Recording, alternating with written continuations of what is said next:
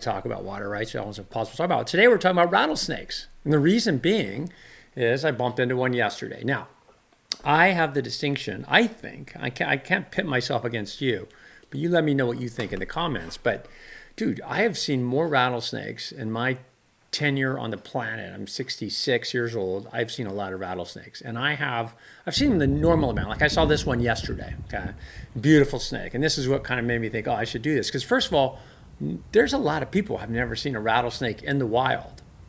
I know it's shocking. California, you know, we have more species of rattlesnakes than anybody other than than Arizona. We have a lot of rattlesnakes, a lot of different kinds of rattlesnakes. So I thought, well, I should address some of the things, misconceptions about rattlesnakes, or things to, that you can do to protect yourself. And the first thing you know about rattlesnakes, and I equate them a little bit to white sharks, even though we see rattlesnakes more. But white sharks want nothing to do with you, despite what Jaws and a lot of Hollywood wants you to believe. Sharks don't. They, I've been surfing my whole life. They, listen, I've, they go right by you. I've seen them go by me. I've seen. I've they don't want anything to do with you. It's a it's always a big mistake. And rattlesnakes are the same way. So when you're out and about and you do see a rattlesnake, just know you're going to either see it or you're going to hear it. Typically is the case, or most likely you won't see it, which is the case for many. Okay, why have I seen more rattlesnakes than anybody else? Because I lived in Paradise, California. Let me move this up. This is Lake Oroville. Okay, biggest, second largest surface reservoir in the state of California. That's huge, right? Because this is a huge water. This this water goes to L.A. A lot of it, almost all of it, I think. So this is this is these were all rivers. This when I moved to Paradise in the '60s, or when I was born up there, this was a river. This was the Feather River, and salmon ran up it all the way up into the middle fork of the Feather, West Branch, North Fork of the Feather. It was a canyon with a river in the middle. So somewhere in the late '60s, they go, listen, we're going to in the for the California Water Project. Um, Edmund Brown, uh, Jerry Brown's dad goes, okay, I want to get this done. And it was actually a good plan was to, to, to dam Oroville. Shasta had already been dammed to get water that, that is much needed. So the largest earth-filled dam in the world at the time was built. I watched them build this dam, uh, if you can believe it. I was probably six or seven. And we watched the, the, the lake fill up. We go down almost every, I think we'd go down like once a week and just sit up up, up at Lime Saddle there and watch the, the, the lake fill in. Well, Paradise is right here. I think you can see the map. This was all river. This was we used to swim down here, and, and, and, you know there's a flume that runs along it, and we swim at Nelson's Bar Bridge.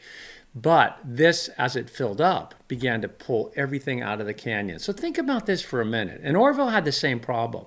I just experienced it real time in Paradise, especially on Pentz Road. My dad was a veterinarian, so lots of rattlesnake bites because everything in this thousands of miles of square miles, or certainly 100 square miles of canyon, arid, hot, perfect landscape for rattlesnakes, started coming out.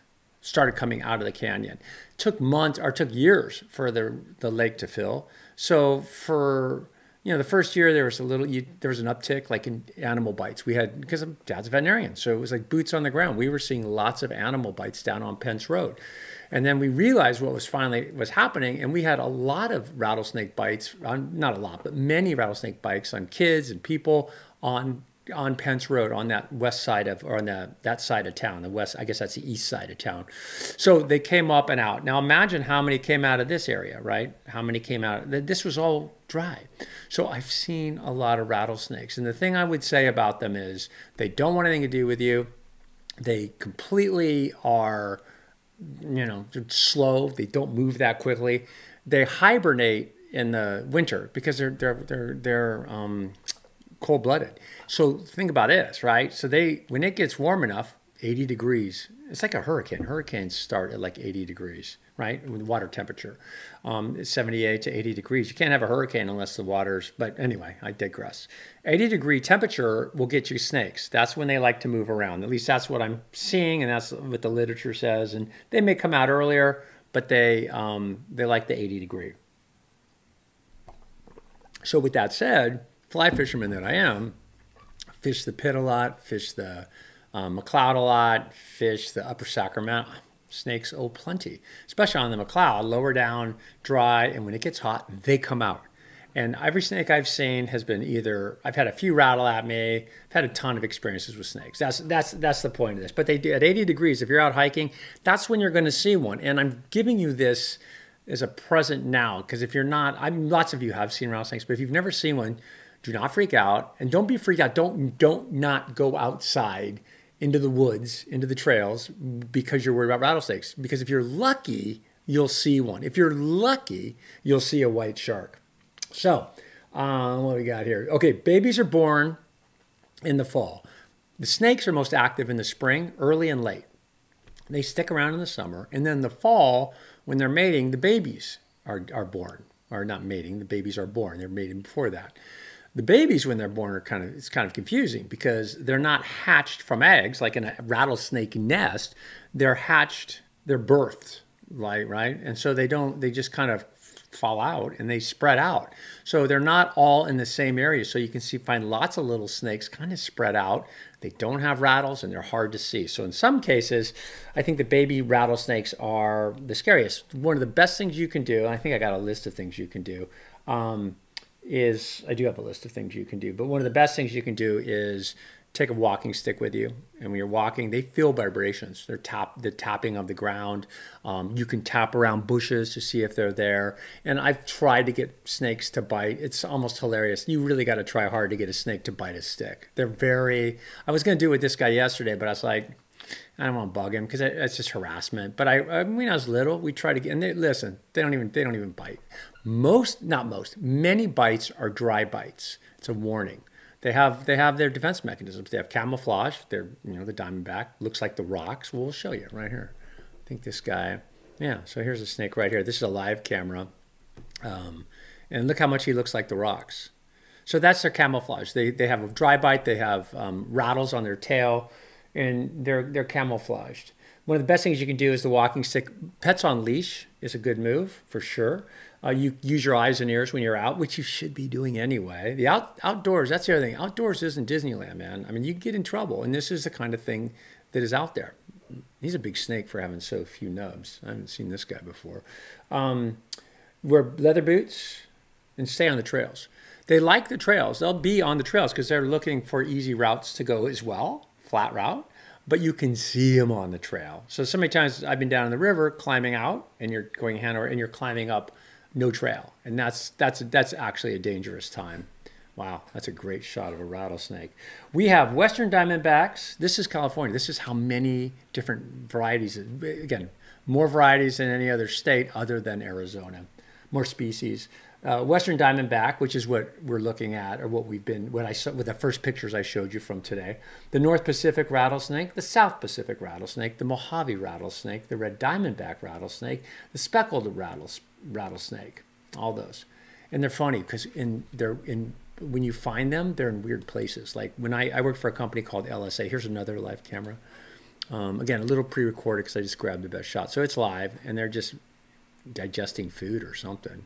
You see them both sitting there, and that's a great shot. That's on the PCT Pacific Crest Trail, above McCloud River. There's a rock outcrop. I almost feel like that's where it is, but it's not. Um, that looks just like that. But look at how hard they are to see. I've walked by many rattlesnakes in my time, and then the guys behind me go, "Did you see a rattlesnake?" I didn't see it because they blend in. They blend in so so well. Um, they do this thing. I used to work for a company called LSA, um, which was an environmental planning firm. When I was out of when I just finished, I think I was out of meteorology school. I was out of atmospheric science. And I was doing air quality stuff for environmental impact reports. And we basically saw that you know the the um, the snakes. You know, we didn't see. We we went out in the field, and we would do transects. They'd call me off the air quality jobs to go do transects, which are like we just we were doing like looking for we were looking for endangered species. We were looking mainly for kit not kit fox and hoop snakes, but in the process of looking for hoop snakes, which were endangered at the time, we were bumping into rattlesnakes day after day after day after day after day. We used to wear rattlesnake chaps, which are leather pants that they can cannot bite through. And I got very comfortable. I worked with a guy named Don. Can't remember his last name anymore. He was awesome. Like he'd pick them up. He was a he was a real he was in the old school, but he was. I learned a lot about rattlesnakes from Don. Um, and the, and the thing I learned most is they're everywhere and they want nothing to do with you. And these two snakes clearly want nothing to do with most people. But what Don would do, we would do, it was kind of weird we'd do this, but it was fun. He'd go, check this out. And we'd go grab up, and this was up above Turlock, up in the hills up there, kind of on the backside of the Lawrence Livermore testing facility out in the valley. We'd find big sheets of metal and we'd lay them down, right? And you'd lay them down, leave them out there. And then you come back the next day, it'd be snakes under it because they would be right that the metal heats up they love being under something hot so he knew instinctively and i think rattlesnake guys I, am sure some of you guys are rattlesnake guys um, you know where to find them i'm pretty good at finding them especially in an outcrop like that um, but I'm, I, there's people who know right where they are. So yeah, yeah, I thought it was interesting. So I have a lot of experience with rattlesnakes. I do. Um, they do this thing where they're really slow to cross the road. You ever? I just saw one the other day that was smashed, and you think, God, they who, who I always kind of go, who's the you know who's the dick that ran over a rattlesnake? Because you'd think they'd just go around it, but the snakes are so slow. They don't. They it takes them forever to get across the road. So you think that you, in your dreams you think it's like a Steven Spielberg or Steven uh, or who's that guy? Oh gosh, the scary author guy, mm, Stephen King. Kind of like a you know scary monster that moves quickly. They move very slowly. Rattlesnakes, from my understanding, when they're laid out flat, they can't do anything, right? It's when they're coiled, they can usually strike to about half the distance of their length. So that's that's when you watch. When a snake is coiled, then they have some some range. I've never seen a snake, a big even a big snake. I've never seen a big snake go out much further than that, right? So if you're that far back, you're usually pretty good. I wouldn't mess with it though. But again, they're very predictable. The snakes, um, I think they are. They keep rodents down. Rodents are probably one of the, you know, that's one of their prime foods, and the rodents um, often carry diseases. So you don't, you want rattlesnakes around. I mean, have, have you ever seen how a, a red-tailed hawk grabs a rattlesnake? They'll grab it. They'll take like this guy I saw yesterday. That's why I wished him off the road because I go, you're going to get a red-tailed hawk after your ass, and you're going to get clomped on. The hawk will take them way up in the air and then drop them, right, to try to avoid the bites. Just try to kill them so they can can eat them. Um, but they do keep rodents down. They're slow to cross the road. Uh, I think, let's see what else we got. This is the number of species of rattlesnakes in the state of California. And that's the same as Arizona. That's a lot. And there's other rattlesnakes, like one to three. Everybody, look at the, the country. Everybody's got some rattlesnakes, man. I did not know that. Yeah, one to three species. I knew Florida did. Um, is it venomous snakes or number of species? Rattlesnakes, yeah. I thought, hmm. Maine's got none. Okay, if you don't like rattlesnakes, you know where to go. These are some of the different types of rattlesnakes. There's a lot. There's uh, I named them the North Pacific rattlesnake Mojave. Um, they look alike, and one of the things I remember seeing a lot when we were doing the transects. There's a live camera. This is up in the valley, and it was in an area like this. We were walking through waist high or knee high brush in the spring, right? Because we had to do the transects for the EIR, looking for hoop snakes, I believe but we basically ran into them all day and all night. They were there. There were lots of and lots of rattlesnakes, but they love that dry brush and they love to be, like I said, in interesting places, like we, with that tin plate we would put down uh, under a piece of wood, under something warm. Um, I saw a rattlesnake one night. We used to, we did this thing. This is more rattlesnake habitat. This is kind of up in the valley as well. This is the Mojave Desert area. A lot of rattlesnakes down there, most certainly. This is, hmm, there's no rattlesnakes there. Yeah, there is. This is Santa Clara Valley, Silicon Valley. There's rattlesnakes there, for sure there are. And up in these hills, up around Mission Peak and up around Mount Hamilton, definitely rattlesnakes. And then this is San Diego, where there is a lot of rattlesnakes as well. So it's, um, you know, they're everywhere, and you just kind of got to get used to them. I think this is the live camera again. Let's see if we can get one to come out for us. Uh, let's see any here, maybe another one. Let's see. Um, so I got yeah. So I had something else to say about rattlesnake. Oh, one of the things I love is um, well, first of all, what did we learn? We learned they want nothing to do with you. We learned that they are cold-blooded. We learned that they don't hatch babies from eggs. They hatch them. They, they're born, so they're a little more spread out. If you get bit, there's a chance it will be a dry bite, hopefully. Your best bet is a walking stick and um, hard shoes. Put your pet on a leash. You're lucky to see a rattlesnake. Oh, there is one right there, huh? You can see his rattlers. You can see him. And that, see that, isn't that crazy? Look how hard it is to find them. But they're nothing to be scared of. And again, I've I've been climbing up the side of a hill and had a rattlesnake right here. And you know what they do? They take off. They don't. They only coil when they get stuck in a spot. Like if you really trap them up in a, a rock, a bench. Like if you walked up on this dude, he'd coil for sure. But they only do that, you know, when they're when they when they can't when they can't escape. They would much rather escape.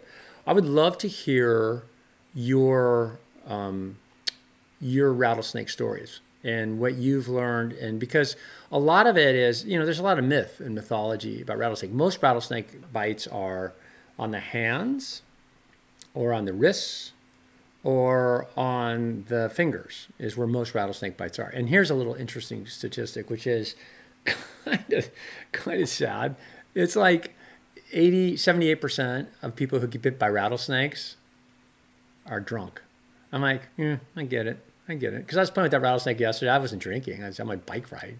But I'm like, yeah, if I'd had a couple coldies, I would have tried to get a selfie with. I wouldn't have, but I think people do, unfortunately. And so most rattle. So let's let's just push it to eighty percent are people who are doing stupid stuff, kind of maybe like I was doing yesterday. I didn't get that close, but I, I had some knowledge. But if you're drinking and you don't know much about snakes and you don't know they can strike half the distance of their, ooh, look at that half the distance of their length, you're gonna you're to make that mistake. So, um, you know, so yeah, know, there you go. Um, they keep the rodents down. They're good for they're good for the environment, and don't be scared of them. I'd love to hear your stories, any insights you have on rattlesnakes. They are a part of the landscape, and they ain't going away anytime soon. Um, I had one more fact about so that we are talking about the um, people ways drunk. They get you get oh, there's 39 people, 39 million people live in California, which I did not know. 39 million. Of those 39 million, 800 a year get bit by rattlesnakes. That kind of sounds like a lot to me, but if it's only one in 50,000. So the chances are, you know, it's manageable stuff. But again, you're going to bump into these. As you saw on the map of the United States, they're everywhere and they are awesome and they're beautiful and they are you know i did told you my story about the swimming rattlesnake i was fishing in the river i was um, i don't maybe i didn't tell you this story yet. I think i told it a couple minutes ago but a couple uh, days ago. But i was standing in the McCloud river and i'm fly fishing away. And i'm on the river and i'm up to my waist in the water and you can't move. And i'm you know just it's pretty wild up there. There's a lot of bears and snakes and stuff but it's whatever. And i'm alone. And down the side of this hill comes this big old rattlesnake and i'm watching him. And i'm in the river maybe and he's probably 20 feet away and he just keeps coming. And i go dude stop. What are you doing? He keeps coming coming coming. He gets to the water's edge. I go okay he's just getting some water. And i can see him. He, again he's probably now at this point he's 10 feet away 12 feet away. A little further in the camera. And he she jumps in the water. Or you know they don't jump really but they slither in. Slithers in the water and starts drifting downstream. And now I'm standing there, and here comes this snake that's solid, solid four feet, big fat snake. And I'm like, great, this is how it goes. This is how it ends. Because, uh, you know, this is before I realized this was an early encounter, probably 20 years ago. And uh, he, he, she came right by me, came right in front of me, about now about six feet off. Now, the current, remember, I'm standing, I'm stationary. The current's pushing this snake right towards me. And I'm in a spot where you know, that's where the current's pushing me. So I'm thinking, okay, I'm getting ready to do whatever I got to do, but I got no no defense other than I'm going to get bit in the stomach by a rattlesnake. And what happened was the snake, this is how you know they don't want you, literally looks up and goes, Whoa, "What are you doing here?" And about two feet in front of me, just squirted off. And they're not fast on the on the roads, but they're fast in the water. Okay, Anyway, that was fun. Appreciate you listening. Tell a friend. Love to hear your story about rattlesnakes. And uh, it's California, man. You know, it's an awesome state. It's one of the few. It's one of the. It's one of the little inconveniences. Plus, I'd miss them. It's like mountain lions. You'd miss them. Okay, I'll see you back here. I'll do my oh I do my weather every day. So if you do follow, check it out. I do West Coast weather every day, which is kind of what I do. This is a sidebar. See you back here.